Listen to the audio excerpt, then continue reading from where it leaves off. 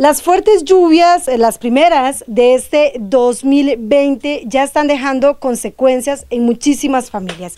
Esto es lo que quedó de la vivienda de la familia Cerdas Quesada, acá en la localidad de Calle Moras, en Río Nuevo, en el cantón de Pérez Celedón. Las fuertes lluvias de la tarde y noche de este lunes provocaron esto, gran cantidad de material cayó sobre toda la estructura y prácticamente quedó destruida. Fue muy, muy poco lo que ellos pudieron rescatar esta mañana de martes. Veamos esta nota.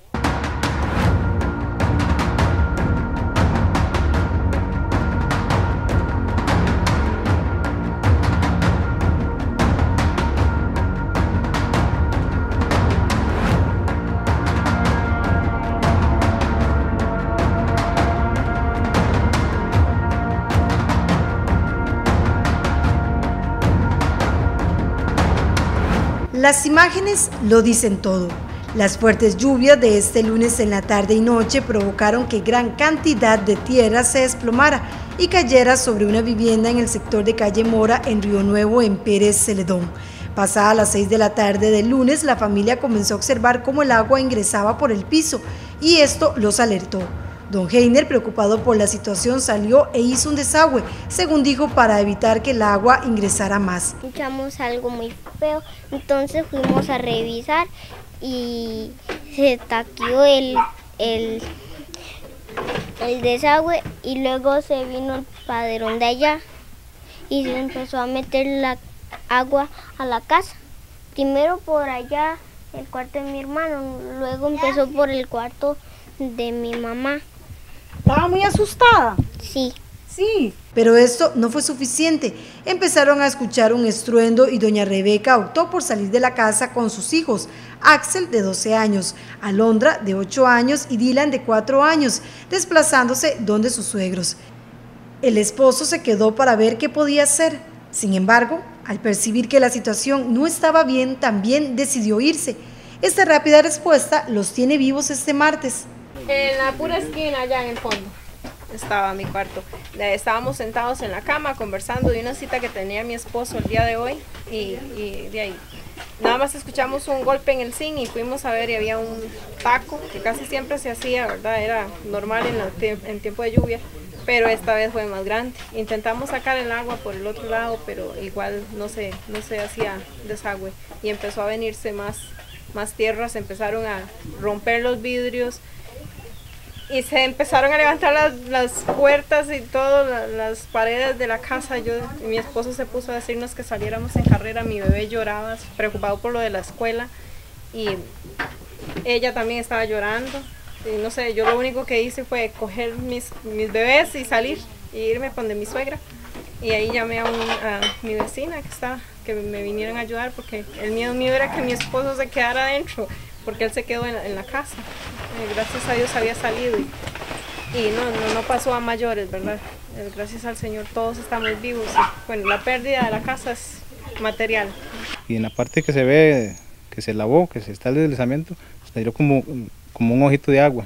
Entonces suavizó la, la parte del suelo y se hizo como una avalancha. Eh, estábamos aquí cuando empezamos a escuchar que un golpecito detrás de la puerta, de la puerta del baño y era terraplén, pero era pequeño. Yo salí a hacer un desagüe porque se tiró el desagüe en ese lado, entonces a sacarlo por el otro lado de la casa para que no se metiera el agua adentro. Pero en eso empezó a bajar y empezó a sonar la casa y ya yo le dije a mi esposa que, saliera, que saliera con los chiquitos porque era peligroso. Entonces, ya, bueno, gracias a Dios salieron bien, salieron todos y, y salieron sanitos por dicha. Y, y después salí yo yo pensaba sacar algo de la casa, pero no pude. Eh, se vino tanta tierra que ya me dio miedo. En realidad me dio miedo porque la casa traqueaba fuerte y, pensé más bien que se iba a caer. Entonces dejamos todo para hoy. ¿Y ahora? Y ahora a lo que Dios nos quiera reparar, porque estamos, bueno, la situación está un poco difícil. Eh, gracias a Dios hemos tenido bastante ayuda aquí para sacar las cositas, lo que eh, quedó. Lo que quedó de las cosas, exactamente. Y esperanzo, esperando en Dios que de alguna manera nos repare una nueva casita.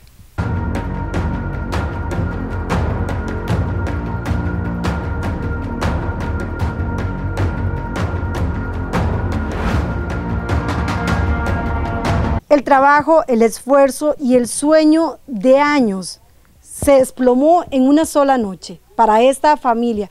Pero lo más importante para ellos es que todos están vivos y se encuentran en perfecto estado de salud. Eh, ayer cuando salimos ellos salieron muy nerviosos, salieron llorando, porque lo que decían que les dolía eran las cositas de la escuela, que les había costado tanto y, y que las iban a perder así tan fácil, decían ellos. Pero ya hablamos con ellos y les explicamos las cosas y se calmaron un poco.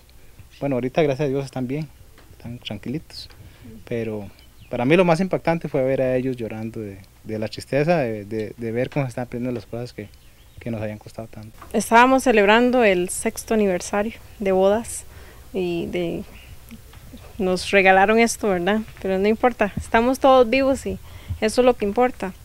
Y no sé si lo material se repone. Gran cantidad de material cayó y destruyó por completo la estructura.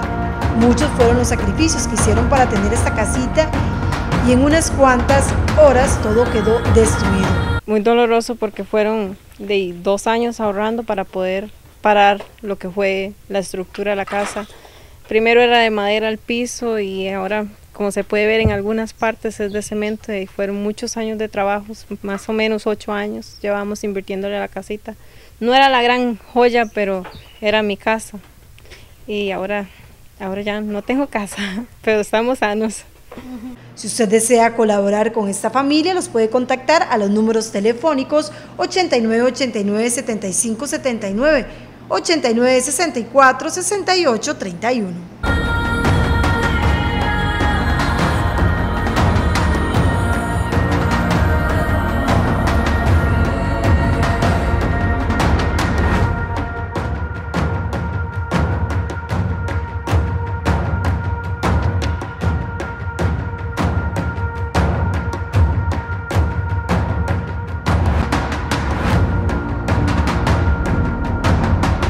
Esta es una de las primeras situaciones que se registran producto de las fuertes lluvias que ya se están presentando en todo el territorio nacional y por supuesto que en Pérez Celedón no se escapa. Muchos vecinos se acercaron este día para colaborar con esta familia y ahora necesitan de su mano, por supuesto, para salir adelante y nuevamente contar con una vivienda.